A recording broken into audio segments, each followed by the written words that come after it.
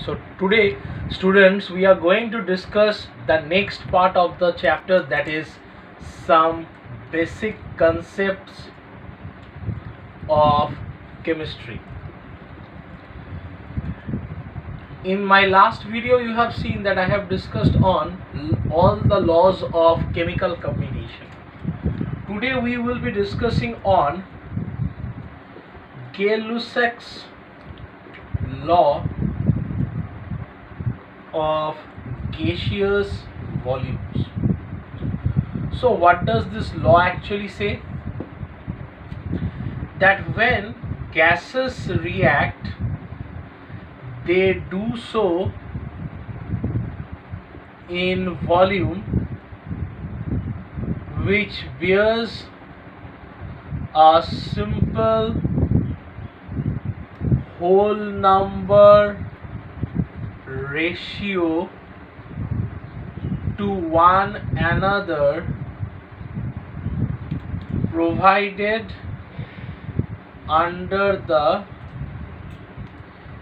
similar condition of temperature and pressure so this is what it is being stated over here that when gases react they do so in volume which bears a simple ratio to one another and to the one another provided under the similar conditions of temperature and pressure. So suppose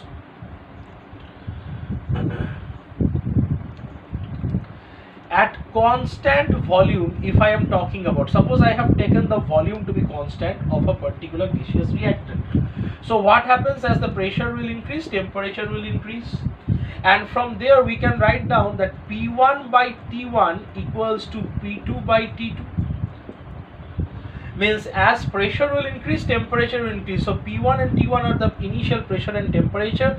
P2 and T2 are the final pressure and temperature. When for constant N and V means number of moles and volume of a gas. Let us take an example H2 plus Cl2 gives 2HCl. So what we can see over here that this is having one volume of H2, one volume of Cl2, how much it is giving?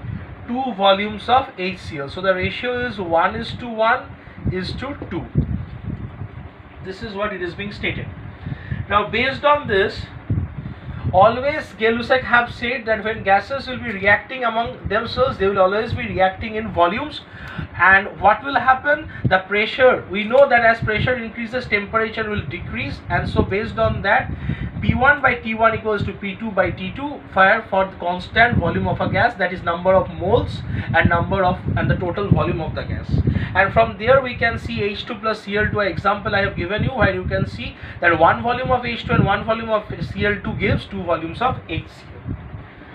Now based on this there is a numerical which says that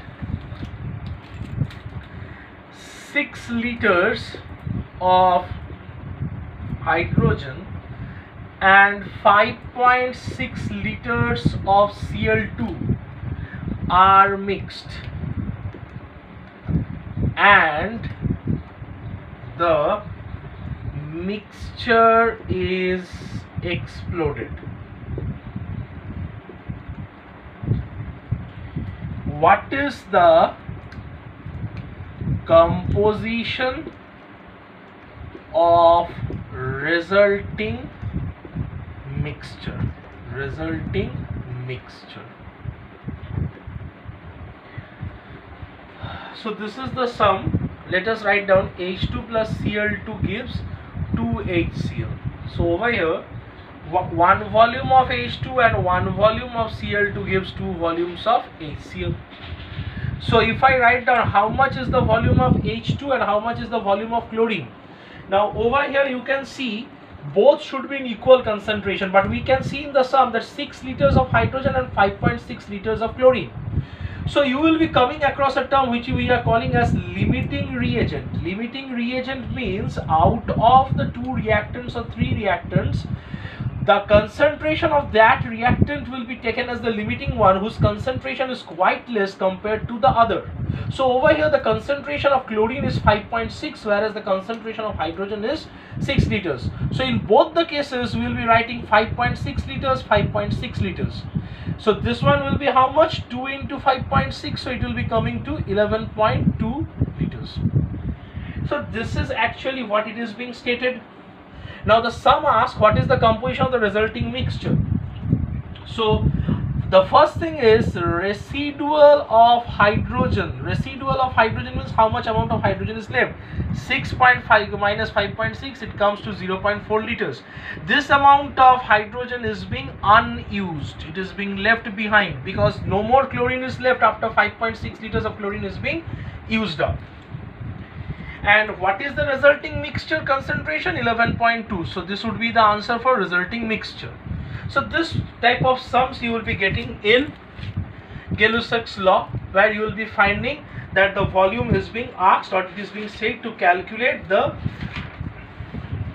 volume of the gases. Now the next thing is we will be discussing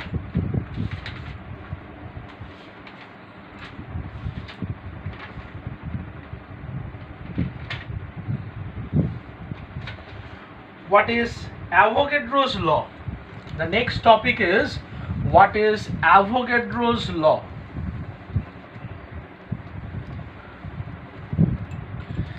Avogadro's law states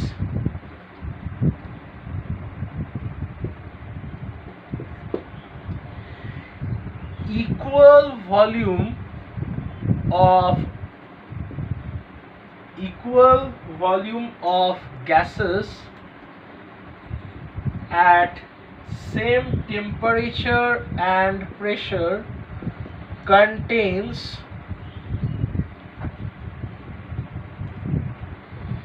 equal number of molecules. Equal number of molecules.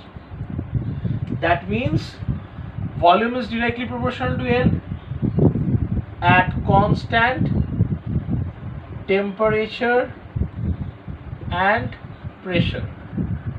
So more the volume, more will be the number of moles.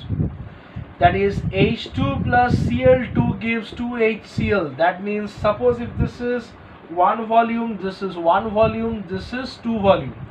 That means suppose I take this is as n volume, this is as n volume, then this one will be 2n volume. Now if I make this n by n by 2 volume, then this one will also be n by 2 volume then this would be n volume. So this is what it is being said or rather n molecule not volume n molecule. So this is what it is being stated over here that one volume of hydrogen and combines with one volume of chlorine it gives two volumes. So if i say suppose n volumes or x volumes of chlorine and hydrogen combine it will be giving 2n 2n molecules of HCl.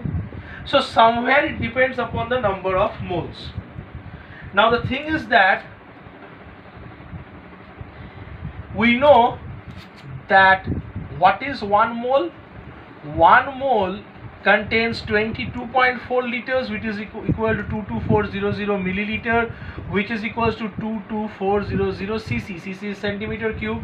One mole is the molecular weight which we will be calling right now in class 11 as molar mass of a substance. One mole is